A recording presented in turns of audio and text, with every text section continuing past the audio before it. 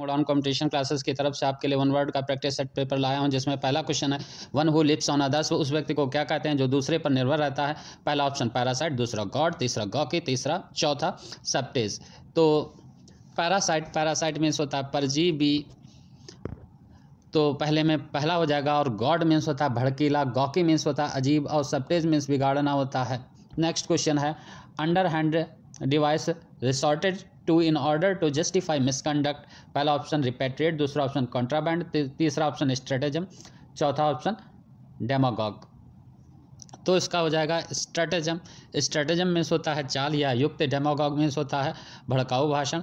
Next question है animals which live in water उन जानवरों को क्या कहते हैं? जो पानी में रहते हैं तो इसका पहला ऑप्शन एम्फीवियन दूसरा एक्वेटिक तीसरा टेरेस्ट्रियल चौथा आर्बोरियल तो तीसरे में दूसरा हो जाएगा एक्वेटिक। एक्वेटिक मीन्स होता है जलचर एम्फीवियन जल और थल। दोनों में रहने वाला टेरेस्ट्रियल आर्बोरियल मीन्स होता है वृक्षवासी। नेक्स्ट क्वेश्चन है, excessively enthusiastic unreasonably about something किसी चीज़ के बारे में उत्साहित होने को क्या कहते हैं? स्पिरिटेड फैनेटिकल इंटरेस्टेड हैंगर तो इसका हो जाएगा फैनेटिकल हैंगर मीन्स होता है। विमानशाला नेक्स्ट क्वेश्चन है person in charge of a museum उस व्यक्ति को क्या कहते हैं? जो किसी म्यूज़ियम का इंचार्ज होता है।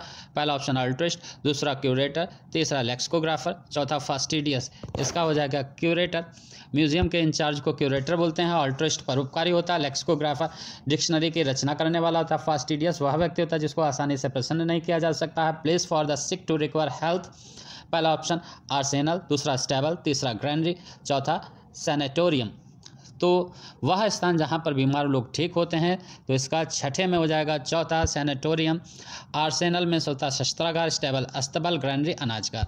नेक्स्ट क्वेश्चन है send or bring somebody back to his own country किसी व्यक्ति को उसके देश वापस लौटाने को क्या कहते हैं? इम्पोर्ट इमिग्रेट रिपेट्रिएट इमिग्रेंट तो इसका हो जाएगा रिपेट्रिएट देश वापस लौटाना और E M I G R A T emigrate means होता है परदेश जाना और I M M I G R N T immigrant means देशांतर में बसने वाला होता है।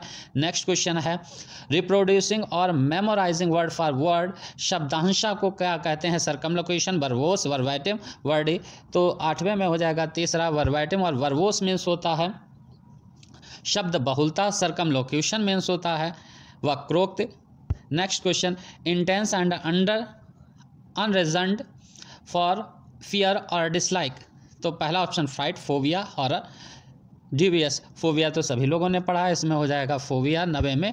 दूसरा नेक्स्ट क्वेश्चन है a decision made by voting एक निर्णय जो वोटिंग के द्वारा लिया जाता है, उसको क्या कहते हैं? प्लेबसाइट दूसरा ऑप्शन ऑटोक्रेसी तीसरा एरिस्टोक्रेसी चौथा एनार्चिस्ट तो दसवें में पहला हो जाएगा। प्लेबिस प्लेबिसाइट मीन्स होता है वोटिंग के द्वारा कोई निर्णय लिया जाना और बाकी तीनों के आपको आंसर